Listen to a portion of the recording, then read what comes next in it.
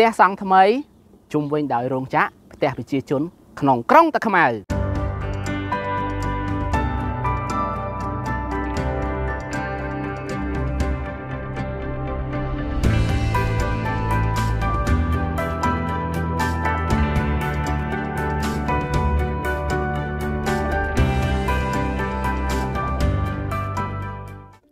បាទជំរាបសួរពុកម៉ែបងប្អូនទាំងអស់គ្នាខ្ញុំបាទហាន់ណា ឥឡូវនេះខ្ញុំបាទសូមណែនាំពុកម៉ែបងប្អូននៅផ្ទះថ្មីទើបនឹងសង់រួចដោយខាងខ្ញុំបាននិយាយក្បាលវីដេអូអញ្ចឹងផ្ទះនេះគឺស្ថិតនៅនឹងក្រុងតាខ្មៅហើយបើយើងនិយាយអំពីទីតាំងនៃផ្ទះវិញគឺស្ថិតនៅសង្កាត់រកាខ្ពស់ក្រុងតាខ្មៅបើយើងចុះពីផ្លូវជាតិលេខ21ផ្លូវទៅស្អាងកោះធំយើងគឺចម្ងាយតែ250ម៉ែត្រតែប៉ុណ្ណោះហើយខ្ញុំបញ្ជាក់ហើយការចុះមកពីផ្លូវជាតិលេខ21ដោយពុកម៉ែបងប្អូនបានឃើញអញ្ចឹង គឺមានផ្ទះប្រជាជន មានរោងចក្រអមនៅសងខាងជុំវិញនៃផ្ទះតែម្ដងហើយបើយើងហួសពីទីតាំងនៃផ្ទះទៅគឺយើងអាចឡើងទៅដល់អាកាសយានដ្ឋានអន្តរជាតិថ្មីគឺដែលមានឈ្មោះថាអាកាសយានដ្ឋានអន្តរជាតិដែលចូលក្រុងតាខ្មៅតែម្ដង តែ7គីឡូតែប៉ុណ្ណោះបាទបើយើងនិយាយអំពីទំហំនៃផ្លូវវិញ គឺផ្លូវបេតុង ទំហំ8ម៉ែត្រហើយចំពោះទស្សនវិជ្ជានៅសងខាងឬក៏នៅចិត្តផ្ទះលក់នេះវិញដូចពុកម៉ែបងប្អូនអតិជនបានឃើញអញ្ចឹងគឺមានផ្ទះប្រជាជនគាត់រស់នៅមិនថាផ្ទះស្នាក់នៅនិងផ្ទះជួលទេមានដល់អ្នកចិត្តខាងយើងគាត់ធ្វើផ្ទះជួលសម្រាប់ជួលទៀតហើយចំពោះចំណូលដែលខ្ញុំសួរម្ចាស់ផ្ទះជួលគឺគាត់ជួលបានមួយបន្ទប់ ចន្លោះពី40ដុល្លារទៅ50ដុល្លារនៅក្នុងការជួល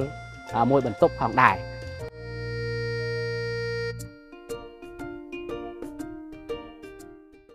បាទហើយបើយើងនិយាយអំពីទំហំសាច់ដីនៃផ្ទះតែម្ដង គឺមានទទឹង4ម៉ែត្រកន្លះគុណនឹងបណ្ដោយ16ម៉ែត្រហើយបើទំហំនៅក្នុងប្លង់រឹងវិញខ្ញុំបញ្ជាក់ទំហំនៅក្នុងប្លង់រឹងគឺមានទំហំ72ម៉ែត្រការ៉េ បើយើងនិយាយអំពីសាច់ផ្ទះផ្ទះលក់គឺមានទំហំទទឹង4ម៉ែត្រ3គុណនឹងបណ្ដោយ13ម៉ែត្រហើយចំពោះឯខាងមុខផ្ទះគឺនៅសល់ទំហំ3ម៉ែត្រទៀតសម្រាប់ការចតរថយន្តការឆ្នៃធ្វើជាកូនសួនអីបានបន្តមកទៀតខ្ញុំសូមនាំអារម្មណ៍ពុកម៉ែបងប្អូនអតិថិជនទាំងអស់មកមើលខាងក្នុងផ្ទះតែម្ដង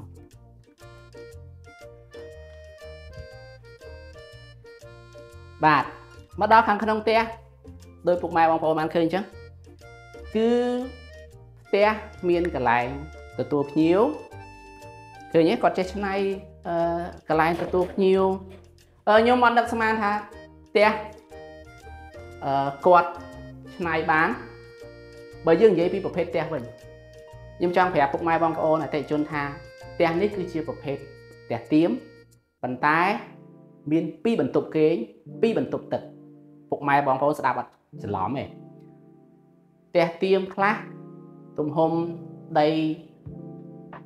4ម៉ែត្រកន្លះបដោយ16ម៉ែត្រគាត់ធ្វើបានតែមួយបន្ទប់គេងទេប៉ុន្តែម្ចាស់ផ្ទះនេះគាត់បកកាយឆ្នៃមែនតើគាត់ធ្វើបានកន្លែងទទួលភ្ញៀវនៅសល់ខាងមុខផ្ទះមានបន្ទប់គេង2បន្ទប់ទឹក2 ខ្ញុំអាចនិយាយថាបន្ទប់ទឹក2ចុះបាទឥឡូវនេះដល់កន្លែងចំណុចពិសេសផ្ទះយើងល្អប្រប៉ុណ្ណាក៏ដោយប៉ុន្តែការទិញអចលនទ្រព្យសម្រាប់ខ្ញុំសម្រាប់ពុកម៉ែបងប្អូនទាំងអស់បារម្ភជាងគេគឺរឿងប្លង់ហើយម្ចាស់ផ្ទះនេះខ្ញុំទៅសើគាត់គាត់បញ្យួរប្លង់រឹងឲ្យមើលឃើញតែហ្មងនេះប្លង់រឹងពុកម៉ែបងប្អូនប្លង់រឹងហើយទំហំនៅក្នុងប្លង់រឹងគាត់ដាក់ឲ្យទៀត72ម៉ែត្រការ៉េ អត់បំបត្តិទេទំហំនៅក្នុងប្លង់រឹង72ម៉ែត្រការ៉េអញ្ចឹងពុកម៉ែបងប្អូនមិនបាច់បារម្ភថាទិញផ្ទះទៅអត់បានប្លង់ទិញផ្ទះទៅប្លង់នឹងជាប់ធនាគារអូអត់ទេពុកម៉ែបងប្អូនអត់មានលុយគ្រប់អាចយកប្លង់ផ្ទះហ្នឹងទៅដាក់ធនាគារក៏បានដែរគិតមើលខ្ញុំជាភ្នាក់ងារខ្ញុំក៏មកជួបម្ចាស់ផ្ទះដែលគាត់បញ្យួរប្លង់ ប្លង់រឹងទៅអញ្ចឹងខ្ញុំឃើញគាត់មួយប្លែកខុសគេគាត់បញ្យួរប្លង់រឹងឲ្យមើលហ្មងខ្លាចថាផ្ទះហ្នឹងអត់ប្លង់រឹងទៅពុកម៉ែបងប្អូនបារម្ភទិញទៅថាទិញផ្ទះឲ្យអត់បានប្លង់ទិញផ្ទះឲ្យប្លង់មានបញ្ហាម្ចាស់ផ្ទះគាត់បង្ហាញអំពីទំនុកចិត្តឲ្យពុកម៉ែបងប្អូន100%ហ្មងសូម្បីខ្ញុំជាភ្នាក់ងារលក់នេះក៏មានទំនុកចិត្តនៅក្នុងការផ្សព្វផ្សាយលក់ដែរបាទឥឡូវហ្នឹងបន្ទាប់ពីបង្ហាញរឿងប្លង់ហើយ ខ្ញុំសូមនាំអារម្មណ៍ពុកម៉ែបងប្អូនអតិថិជនមកមើលបន្ទប់គេងម្ដងតើបន្ទប់គេងពីបន្ទប់គេងហ្នឹងទំហំប៉ុន្មានណាអូនណាដី4ម៉ែត្រចុច3បដោយ13សាច់ផ្ទះមានកន្លែងទទួលភ្ញៀវមានបន្ទប់គេង2មានបន្ទប់ទឹក2ហើយនៅមានផ្ទះបាយមានកន្លែងតុកញ៉ាំអាហារទៀតឥឡូវមកមើលបន្ទប់គេងសិនបន្ទប់គេង2ហ្នឹងប៉ុន្មានតិចតួចញ៉ែបអីទៅអត់ទេបន្ទប់គេង2ហ្នឹងស្រឡះតែម្ដងកម្ពស់កពរបស់ខ្ញុំ គឺកម្ពស់1ម៉ែត្រចិត្តជាងហើយបើគីឡូវិញក៏ចិត្តជាងដែរចឹងហើយពុកម៉ែបងប្អូនមើលមើលនេះបន្ទប់គេងទី1បន្ទប់គេងទី1ហ្នឹងគឺគាត់រៀបចំមកអញ្ចេះយើងអាចថាជាបន្ទប់មេគ្រួសារក៏បានដែរ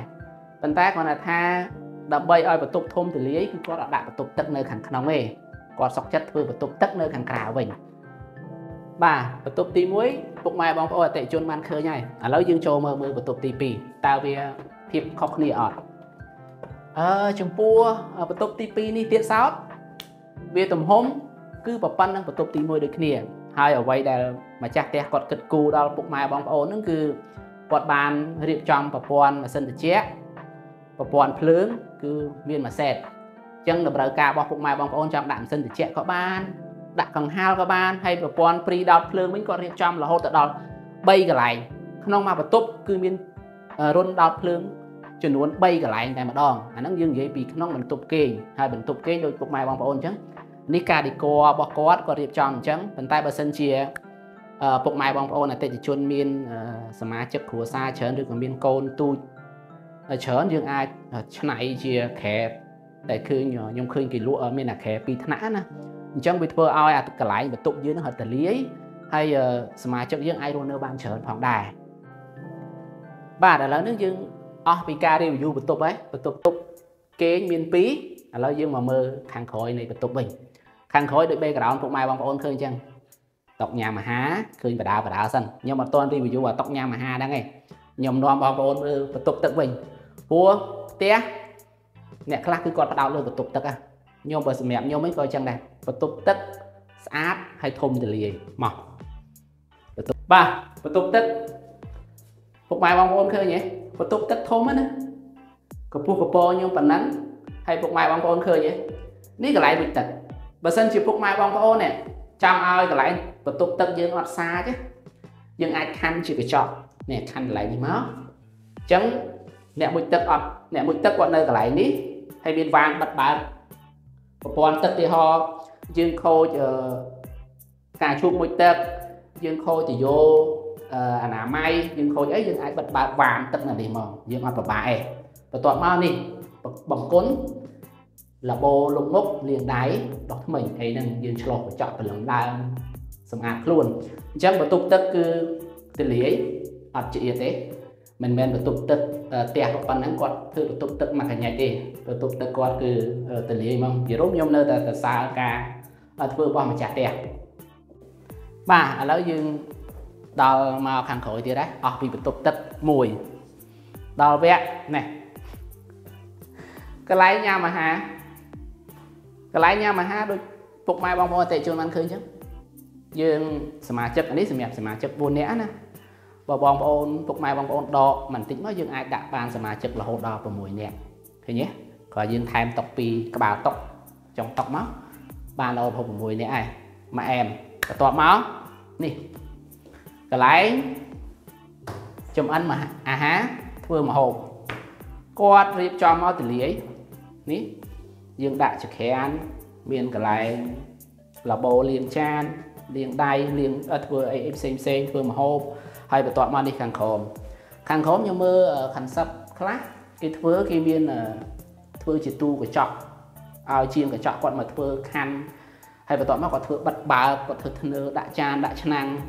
អឺអាហ្នឹងវាសំខាន់លើពុកម៉ែបងប្អូនអតិថិជនរៀបចំបន្ថែមទេនេះខាងម្ចាស់ផ្ទះគាត់ធ្វើឲ្យប៉ុណ្ណឹងគឺល្អហើយដល់កន្លែងបន្ទប់ទឹកទី2នេះនេះមិនមែនបន្ទប់ទឹកទេតែខ្ញុំហៅបន្ទប់ទឹកចុះបើខ្ញុំសួរម្ចាស់ផ្ទះគាត់ថា អាហ្នឹងឆ្នៃធ្វើកន្លែងបោកកៅអាវកន្លែងអីមួយទឹកបដោះអាសន្នមើលទេគាត់គាត់ឆ្នៃធ្វើបានផ្ទះទំហំប៉ុណ្ណឹងគាត់មានអនេះកន្លែងអឺបន្ទប់ទឹកទី2មានកន្លែងមួយទឹកបើសិនជាយើងបន្ទប់ទឹកទី1ព្រលឹមឡើងឬក៏មានការបន្ទាន់អីត្រូវការមួយទឹកទៅធ្វើការអីយើងបញ្ញាប់ យើងអាចប្រើនេះបានហើយយើងអាចដាក់ម៉ាស៊ីនបោកកៅអៅនៅនេះយើងគក់កៅអៅយើងហាលកៅអៅហើយណោះឃើញភ្លឺហ៎ខ្ញុំអឺពិបាកនិយាយត្រង់ថាគាត់រត់នឹកអាអារឿងហ្នឹងមកពីណាគាត់ដាក់ស័ង្កសីខ្លាហើយមិនត្រឹមដាក់ស័ង្កសីខ្លាគាត់គិតដល់សុខភាពពេលពុកម៉ែបងប្អូនអតិថិជនអត់នៅផ្ទះគាត់រែងដែកហើយទៀតវវខ្លាចពួកអ្នកណាអីរឿងយើងមើលមិនឃើញណាប៉ុន្តែស្រុកយើងឥឡូវវា សន្តិភាពច្រើនណាស់អញ្ចឹងអារឿងចោលពោះផ្ទះហ្នឹងក៏លែងសូវមានដែររដ្ឋអំណាចយើងចាប់បានច្រើនអញ្ចឹងអត់សូវមានទេប៉ុន្តែគាត់គិតគាត់គិតប្រកែគិតគាត់ការពារហ្មងគាត់គិតពីអតិជនហ្មងគាត់ធ្វើដែកហ្នឹងគឺការពារអត់ឲ្យមានអ្នកណាអាចចូលបានទេគាត់មែនតែមើលឃើញមែនហ្នឹងហើយហ្នឹងវាជាចំណុចដែលម្ចាស់ផ្ទះគាត់គិតគូពីអ្នកដែលទិញផ្ទះរស់នៅតែម្ដង